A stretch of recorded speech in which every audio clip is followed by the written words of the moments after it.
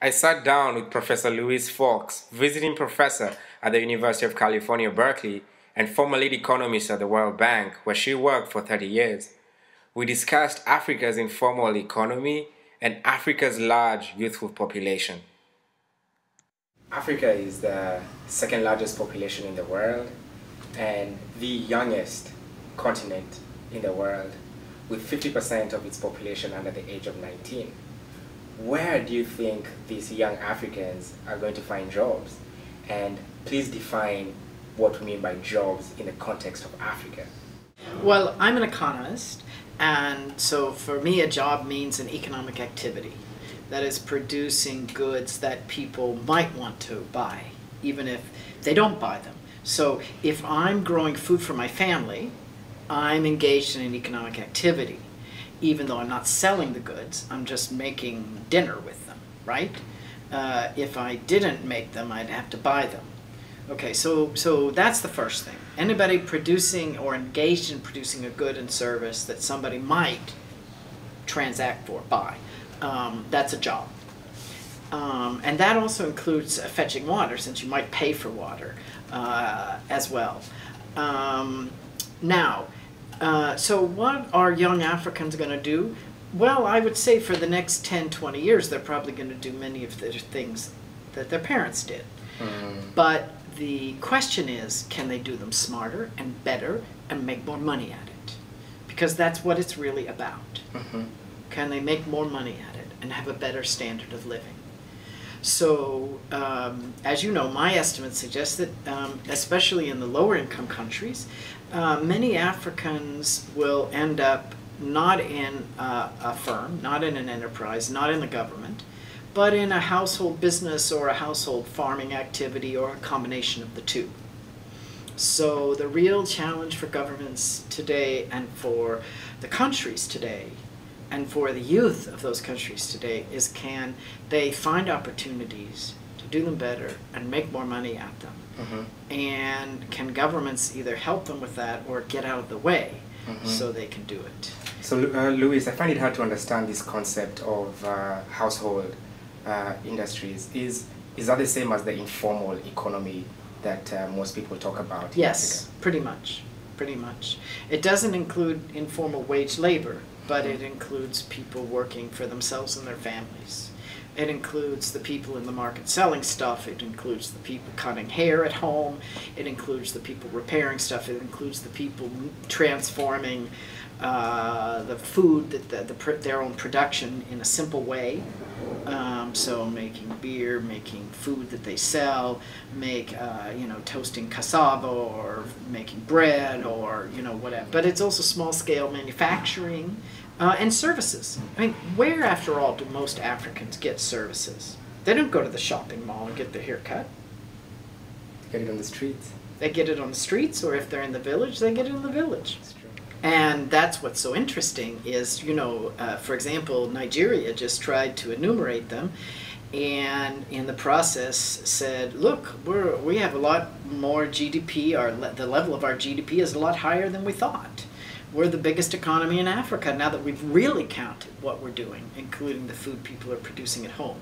That doesn't mean that, that didn't that fact didn't change the level of deprivation of the poor people in Nigeria. They're still poor and they're still deprived, whether they're enumerated or not. Mm. But they should be enumerated and they should be counted, and their progress should be counted as well. Mm how can African governments and other stakeholders craft an employment policy for this youthful African population? Now, in the household enterprise sector, I think maybe people haven't paid as much attention to that sector. And there, I would say it's a matter of urban policy. It seems to me too many cities in Africa, especially capital cities, are really trying to be quote unquote world class cities, which is great.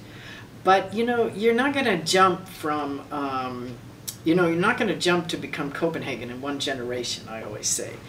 And if you look at cities in Asia, you see that um, the city planning is really uh, at least allowing and planning for uh, informal uh, activity and, and, and building markets for it and helping to build channels for it and helping to keep it going and keep it alive. And knowing that not everybody gets their hair cut in the mall and knowing that people have to have places to do that. And I think in Africa, the city planning is really trying to only plan for big, nice, clean enterprises and not realizing that it's going to take time and develops gonna, development is going to be a, a, an uneven process.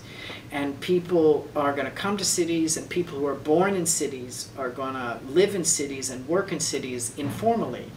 And that what has to be done is they have to be able to um, market their, their production, uh, sell their products, and, and do things better and faster and easier and expand. And that's about um, that's about microfinance. That's about um, mobile finance and mobile money. That's about public safety. Um, that's about being able to move back and forth to the economic opportunity safely and cheaply. So that's about um, bus transportation for the masses, not about private cars. It's about a lot of different things. Um, it's about an infrastructure to do business for the small guys, not just for the big guys. And I think there, uh, it's about zoning, it's about access to a place to work. Um, and I think there, there may be some more, there needs to be more uh, thinking. Uh, urban planning has to include that. There's some examples of mm-hmm. where it's been done well. Mm-hmm. Um, you know, in our book on youth employment in sub-Saharan Africa, we talked about some examples from Ghana, for example, um, uh, where it had been done well a lot of countries are thinking about industrial estates and industrial clusters. What's happening on the edge of that? Is there space for the small guys be there? Bus routes. People are putting in bus routes. At the bus stops, are they also planning and zoning and making it legal for people to sell stuff? So that as people get on and off the bus, they can buy stuff. Are they thinking about that, or are they just thinking about a bus stop and then cleaning everybody out? Mm-hmm. That's really the question. This is a very open-ended question, and um, I, um, I encourage you to tackle it in whatever way you see necessary. Uh, what is the future of Africa? I know that's that's a big one. I am not romantic about the life of a small farmer or a small businessman or woman in Africa at all. I am not romantic about it at all. It's a very hard life it has deprivations that I would hope never to have to face. Uh, but it is what it is, and the question that we should be facing is not how to get rid of it, but how to make it better. Now, I think the future of Africa, the real challenge for Africa is to have a future of inclusive growth. If Africa is able to use its resources, um, and use its resources to bring up the living standards of everyone and bring up the assets of the households and the human capital and the health and the welfare. Um, that is a future that looks good. Um, that's a story about governance, about participation. One issue we haven't discussed about the young people of Africa is is there space for them to participate in creating this new Africa? Or is the gerontocracy that's been running Africa for a long time and, and the presidents and the politicians who want to stay in for life, are they uh, uh, limiting that space? Mm. And I think um, the future of Af- if the future of Africa is its young people, those young people have to have the space to make it, to make their future.